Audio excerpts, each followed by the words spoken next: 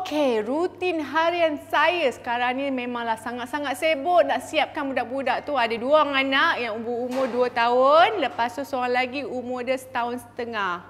Eh, setahun dua bulan. So, kebanyakan masa Julia ke arah anak-anak lah. Lepas tu nak siapkan suami. Lepas tu barulah kita siapkan diri kita sendiri.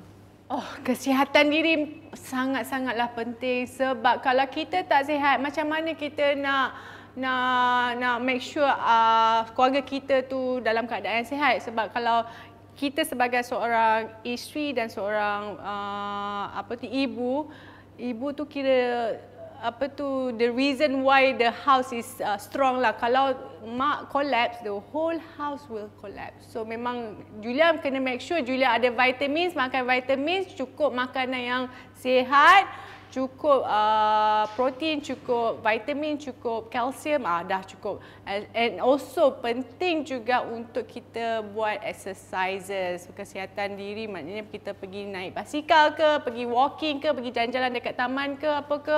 That's really important. Kalau kita tak sihat, keluarga kita pun tak akan sihat.